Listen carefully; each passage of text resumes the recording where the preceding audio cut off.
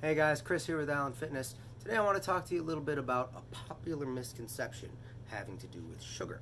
So, you've probably heard before that there are good sugar, good sugars and there are bad sugars. This is not technically true.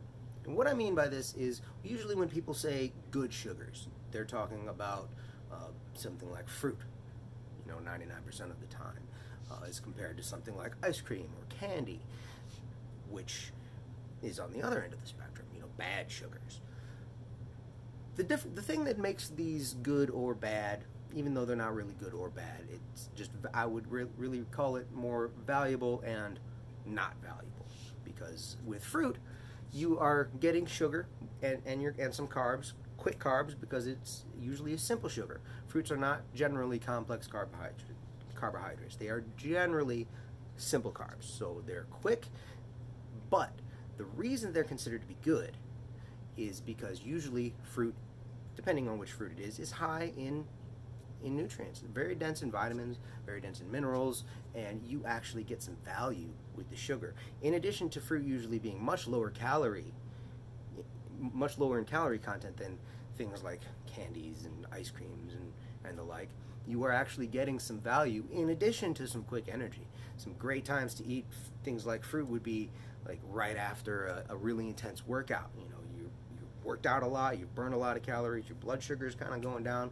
Eat a little bit of fruit, have a little bit of fruit juice along with some protein, and you'll feel a lot better without feeling really laggy after a hard workout. So, when we're talking about bad sugars, we're talking about the ice creams and whatnot, it's not the sugar itself that's bad.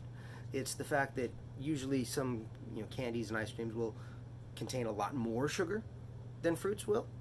And while they have a lot more sugar, being much higher calorie, they don't have any nutritional value. So you're getting a whole lot of wasted energy out of the food with no real nutritional content. So you're that's why it's so easy to gain weight when you're eating stuff a lot of stuff like that. It's not because the sugar itself is bad. It's because you're just getting a whole lot of extra calories with no real value. And that is why it's smart to pick fruit. And that's why fruit's healthy. And that is why there's no such thing as good sugar or bad sugar. Sugar is just sugar. You're getting in a little bit of a deeper rabbit hole when you're talking about co complex carbs versus simple carbs and starches and whatnot, but that's that's a topic for another time. Right now, I just want you all to understand that there is no such thing as good sugar or bad sugar. It's just what kind of value are those calories giving you aside from just the, sugar, the, the calories themselves? Is it full of nutrition or is it just a bunch of nothing? So that's the question you got to ask yourself. So if you found this video helpful and you feel like you could use a little bit of guidance, possibly a little bit of accountability with your health or fitness journey, drop a little bit of love in the comments or send me a message and I will hook you up with a complimentary consult call where we will map out an entire 30 days for you full of uh, workout strategies, full of mindset strategies, full of nutrition strategies. We're going to get you started off to the right foot at absolutely no cost to you. All it's going to take is a little bit of time and you scheduling a call with me. I'm going to drop a link in the description on YouTube and in the comments on Facebook. So I hope to talk to you soon.